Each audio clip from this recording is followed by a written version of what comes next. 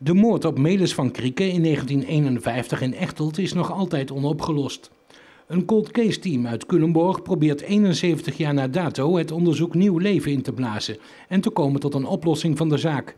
Van Krieken werd in de ochtend van 18 april 1951 bij zijn boerderij op de akker niet ver van Tiel doodgeschoten. Een dader is nooit gevonden. Hij zou die woensdag naar de markt gaan in Den Bosch om te handelen met vee. De dader heeft hem beroofd van zijn portemonnee en gedood.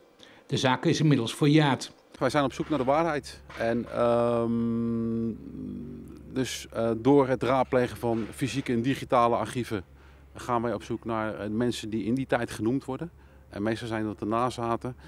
En dat levert uh, soms hele verrassende resultaten op.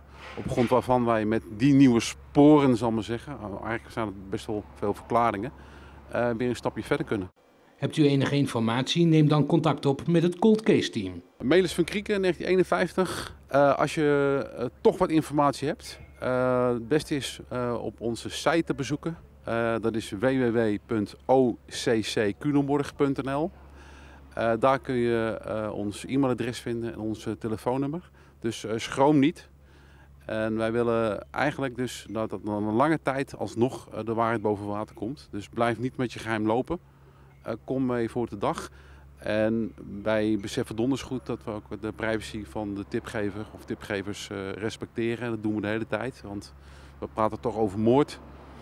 En, uh, dus bezoek de site en bel of mail ons.